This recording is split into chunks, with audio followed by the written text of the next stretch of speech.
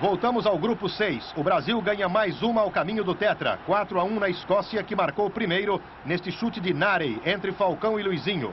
Valdir Pérez pulou à toa. Escócia 1, Brasil 0.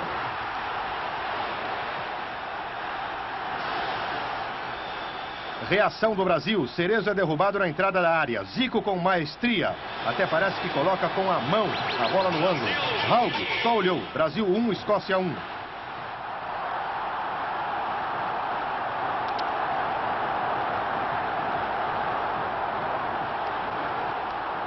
O Brasil passa à frente no início do segundo tempo. Júnior bate o córner. Oscar, mesmo marcado, subiu mais que o zagueiro e de cabeça escolheu o canto. Para desespero dos escoceses, Brasil 2, Escócia 1.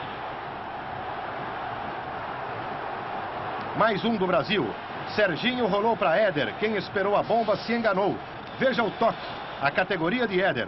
O goleiro Hall ficou no meio do caminho só olhando. Brasil 3, Escócia 1.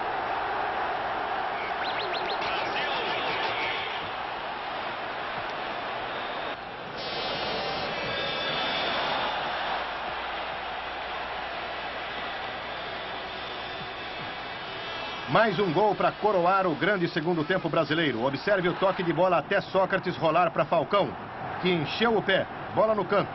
Brasil a caminho do Tetra. 4, Escócia 1. Brasil classificado no grupo 6.